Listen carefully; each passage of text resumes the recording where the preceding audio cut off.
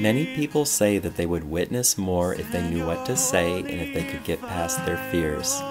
I often train people who are open to learning to tell others about Jesus, yet say, I could never do that. A few hours later, many say, I can't believe God just used me to do that.